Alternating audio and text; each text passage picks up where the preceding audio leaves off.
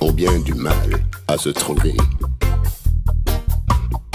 J'ai vu des gens qui vivent bien et pas mal d'autres vivant bien mal. Il y a ceux qui vivent tant bien que mal et ceux qui vivent plus que bien. Et parfois même beaucoup trop bien. Si bien qu'ils vont vite bien mal. Quelle est la valeur de l'expérience dans la construction d'une personne? L'expérience est un terme générique.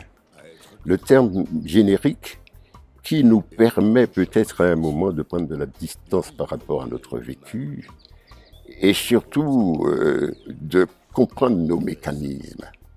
Tu souffres, tu cherches à moins, à moins souffrir. Et donc c'est une expérience, la souffrance, qui t'amène à un rapport à ta santé, morale ou physique, nécessaire. Donc ce n'est pas une expérience que l'on cherche, c'est une expérience qui nous est donnée par la vie, par le temps, et qui nous invite de temps en temps non seulement à, méditer, mais qui nous invite à nous dépasser. L'expérience est nécessaire, mais euh, quand nous étions petits, euh, on nous disait de respecter les adultes. Ils ont de l'expérience, certains ont de la sagesse. Et à mes enfants, je leur ai toujours dit, il ne faut pas respecter que les adultes, il faut respecter tout le monde, les tout petits. Et même, il y a des adultes qui sont un peu cons, parce qu'ils croient tout savoir, alors qu'ils ne savent pas grand-chose. Je leur disais ça, même si parfois ça ne plaisait pas peut-être à, ma femme. Je leur disais les choses comme je vois.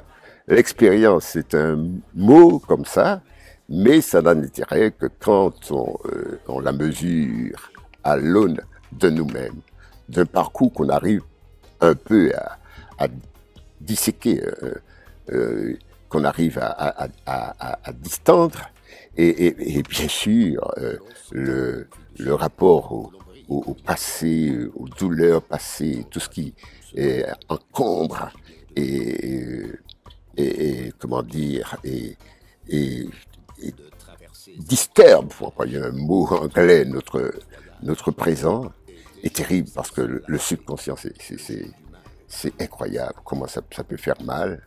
Donc, une des expériences fondamentales, c'est celle qui consiste à ne pas se laisser embarquer euh, dans les, faux jours du, du subconscient.